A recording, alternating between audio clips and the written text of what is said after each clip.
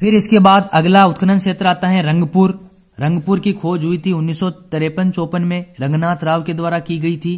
अहमदाबाद, गुजरात में मादर नदी के किनारे। कौन सी नदी? मादर नदी के किनारे रंगनाथ राव द्वारा उन्नीस सौ में रंगपुर की खोज की गई थी। और रंगपुर सभ्यता जो थी, स्थल जो था, ये आज़ादी के बाद भारत का खोजा जाने वाला प्रथम सिंधु स्थल था रंगपुर। याद रखना आज़ादी के बाद भारत का खोजा जाने वाला प्रथम सिंधु स्थल तो है रंगपुर, और आज़ादी के बाद राजस्थान में खोजा जाने वाला प्रथम सभ्यता स्थल था कालीबंगा। रंगपुर से हमें धान की भूसी का ढेर प्राप्त हुआ है। कच्ची ईटों के दुर्ग, धान की भूसी यानी चावल की भूसी का ढेर। यहाँ पर हमें रंगपुर में पूर्व सिंधु सभ्यता के लोग निवास करते थे। चावल के साक्षी भी हमें रंगपुर से मिले हैं। चावल के साक्षी केवल दो स्थल से मिले हैं, लोथल से और रंगपुर से। लोथल में पूर्व सिंधु सभ्यता के लोग निवास करते थे। यहाँ का जो ऊपरी स्तर था रंगपुर का, यहाँ पर सिंधु संस्कृति के अवशेष मिले हैं। रंगपुर से हमें कोई भी मुद्रा नहीं मिली है या फिर कोई भी मातृ देवी की मूर्ति हमें नहीं मिली है। पत्थर के फलक यहाँ पर ज़रूर मिले हैं रंगपुर से। अब आता है अल्लादीनो अल्लादीनो की खोज हुई थी डब्ल्यू ए फेयर सर्विस द्वारा कराची सिंधु नदी के किनारे।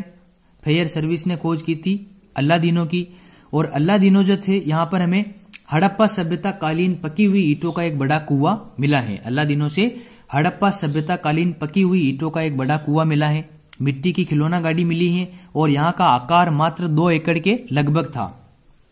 दो एकड़ के लगभग था अल्लाह दिनों का आकार और अल्लाह दिनों सबसे छोटा सिंधु स्थल था। याद रखना, सबसे बड़ा सिंधु स्थल था हड़प्पा सभ्यता में राखी गढ़ी, दूसरा था धोलावीरा, जबकि सबसे छोटा कौन सा था? अल्लाह दिनों। फिर आता है कोट दीजी जिसकी खोज हुई थी उन्नीस सौ तिरपन में फजल अहमद द्वारा खेरपुर, सिंध प्रांत सिंधु नदी। कोट दीजी की खोज की गई थी उन्नीस सौ तिरपन में फजल अहमद द्वारा।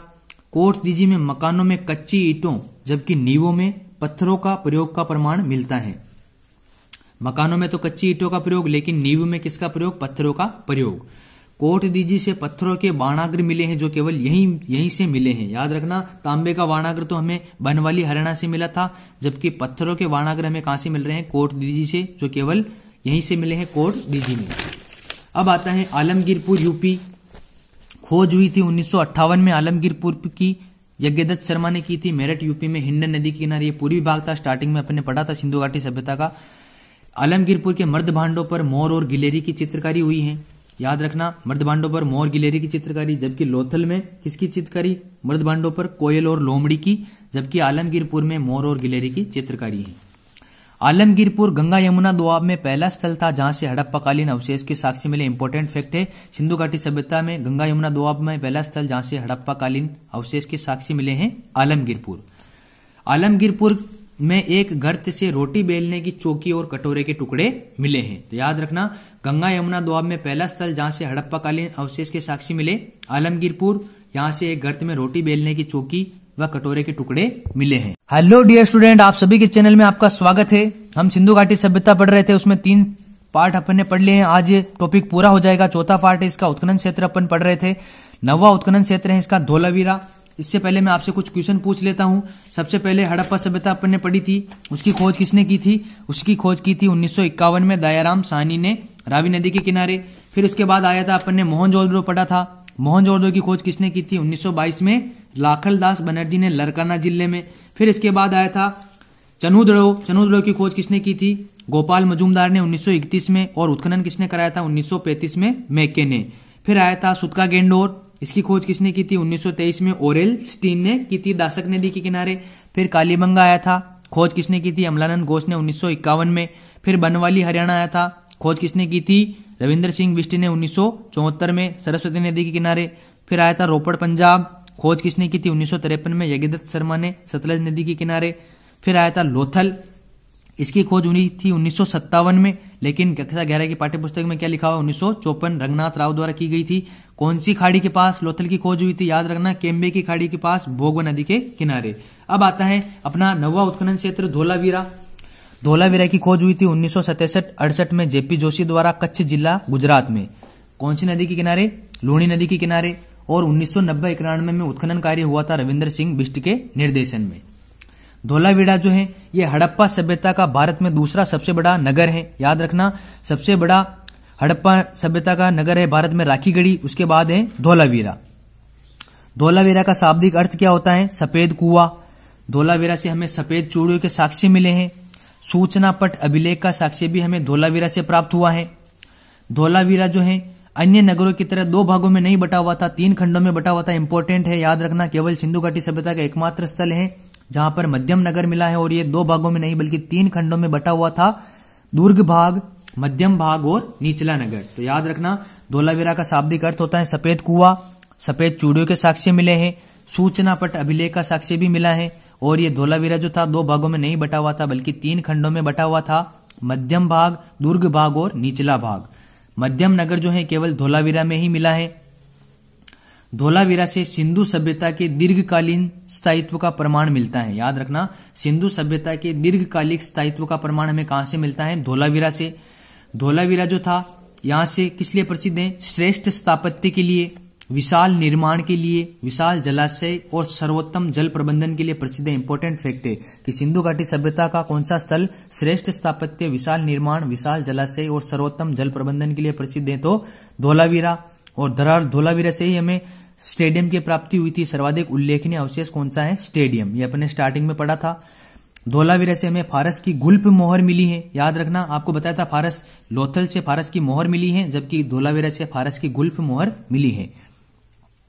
धोलावीरा से विशाल सेंधवकालीन नगर के अवशेष का पता चलता है। धोलावीरा से विशाल सेंधवकालीन नगर के अवशेष का पता चलता है और धोलावीरा का दुर्ग कौन से, कितने स्तर का पाया गया है? तीन स्तर का पाया गया है। धोलावीरा की जो नगर योजना थी, वो समानांतर चतुर्भुज के रूप में थी।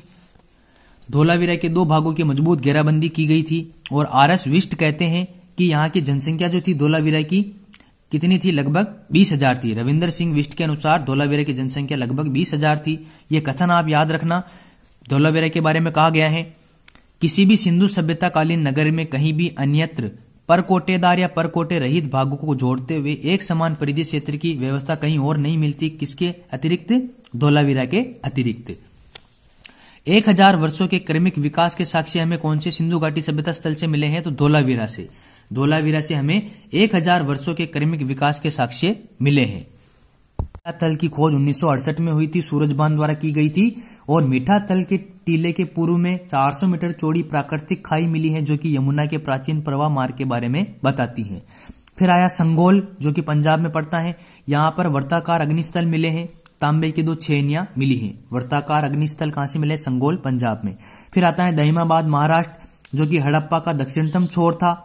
याद रखना स्टार्टिंग में अपन ने पढ़ा था, उत्तरवर्ती हड़प्पा के साक्ष्य मिले हैं, दाइमाबाद महाराष्ट्र से उत्तरवर्ती हड़प्पा सभ्यता के साक्ष्य मिले और कासे का रथ भी मिला है दाइमाबाद महाराष्ट्र से। अब अंतिम टॉपिक है, ये अंतिम पॉइंट है। सिंधु घाटी सभ्यता के समान विश्व सभ्यताएँ कौन कौन सी थी? एक तो थी मिस्र की नील नदी घाटी सभ्यता ऑप्शन में पूछ सकता है, याद रखना।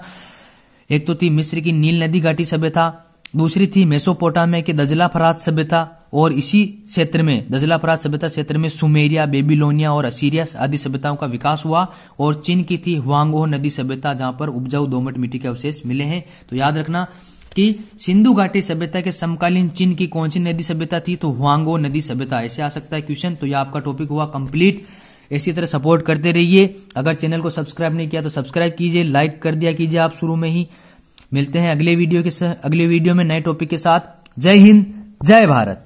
फिर इसके बाद आता है सुरकोटड़ा, जिसकी खोज हुई थी उन्नीस में। जगपति जोशी द्वारा की गई थी कच्छ, गुजरात में। उन्नीस में सुरकोटड़ा से हमें घोड़े की अस्थियाँ मिली है, तराजू का पलड़ा मिला है। घोड़े की अस्थियाँ, तराजू का पलड़ा और एक अनोखी कब्रगाह भी मिली है। तो सुरकोटड़ा से क्या क्या मिला है? घोड़े की अस्थियाँ, तराजू का पलड़ा और अनोखी कब्र। सुरकोटड़ा के दुर्ग जो दुर्ग जो था, उसको किससे बनाया गया था? पीली कूटी हुई मिट्टी से निर्मित चबूतरे पर बनाया गया था। सुरकोटड़ा के दुर्ग को पीली कूटी हुई मिट्टी से निर्मित चबूतरे पर बनाया गया था और सुरकोटड़ा से कलश समाधान का साक्षी भी मिला है। मतलब समाधान में सव, जो थे, उसमें कलश भी रखा हुआ मिला है। फिर आता है बालाकोट। बालाकोट की खोज हुई थी उन्नीस से छंतर में जॉर्ज डेल्स के द्वारा कराची में। बालाकोट का सबसे समृद्ध उद्योग क्या था? सीप उद्योग था। बालाकोट से बड़ी संख्या में सीप से बनी चूड़ियों के टुकड़े मिले हैं। याद रखना, सीप उद्योग कहा का प्रसिद्ध था बालाकोट का, और यहाँ अधिकांश इमारतें कच्ची मिट्टी से बनी हुई थी, लेकिन मिंदार नदी के तट पर सभी नालियाँ पक्की ईटों से बनी हुई मिली है। ये एक बंदरगाह था, बालाकोट भी। फिर आता है राखीगढ़ी, हरियाणा। इसकी खोज हुई थी उन्नीस में सूरजभान द्वारा, जिंद जिला हरियाणा में। यह आपको पहले बता दिया था मैंने कि भारत में खोजा गया सबसे बड़ा सिंधु सभ्यता स्थल था राखीगढ़ी, हरियाणा। और यहाँ पे हड़प्पा लिपि युक्त मुद्रा मिली है। फिर आया है भगवानपुरा। जीपी जोशी द्वारा उत्खनन किया गया था। सरस्वती नदी कुरुक्षेत्र, हरियाणा में। और भगवानपुरा से हमें सफ़ेद, काले और आसमानी रंग की कांच की और तांबे की चूड़ियाँ प्राप्त हुई है। फिर आता है मालवण। उन्नीस सौ इकसठ में खोजा गया था जेपी जोशी और आलविन के द्वारा। मालवण कहाँ पड़ता है? सूरत, गुजरात में, ताप्ती नदी के किनारे। मालवण से हमें सिंचाई की नहर के अवशेष प्राप्त हुए हैं। सिंचाई के नहर के अवशेष मालवण से, और ये सिंधु सभ्यता के अंतिम समय के और हड़प्पा उत्तर सभ्यता के अवशेष मिले हैं कहाँ से? मालवण से। सिंधु सभ्यता के अंतिम समय के और हड़प्पोत्तर, हड़प्पा सभ्यता के बाद के अवशेष कहाँ से मिले हैं? मालवण से। फिर आता है रोजादी। ये मादर नदी के तट पर था, राजकोट, गुजरात में। और मादर नदी के तट पर और कौन सा था? वो रंगपुर था, याद रखना। मादर नदी के तट पर रोजादी, ये भी गुजरात में पड़ता है, राजकोट, गुजरात में।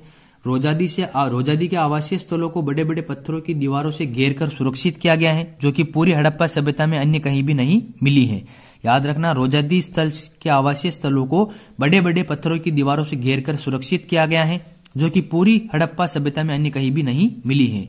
और रोजादी से हमें हाथी का साक्ष्य मिला है। गुजरात के जो लोग थे, वो हाथी पालते थे उस समय। फिर आता है मीठा थल इसकी खोज उन्नीस सौ अड़सठ में हुई थी सूरजबान द्वारा, भिवानी, हरियाणा में। और यहाँ टीले के पूर्व में 400 मीटर चौड़ी प्राकृतिक खाई मिली है जो यमुना के प्राचीन प्रवाह मार्ग के बारे में बताती है।